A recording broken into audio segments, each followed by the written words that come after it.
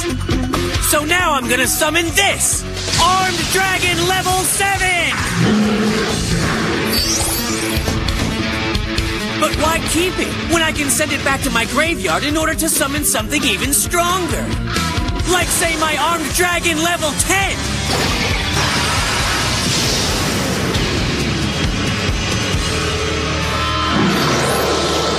And there's more! I play Ojama Powerful cards. I sacrifice my level 7 dragon now! So I can bring out my armed dragon level 10!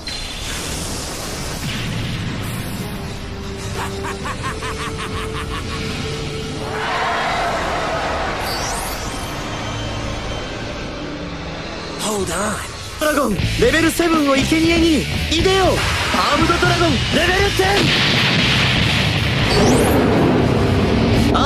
ゴンレベル10の効果。手札を1枚墓地に送り相手モンスターを破壊。破壊するのは当然。G エンジョン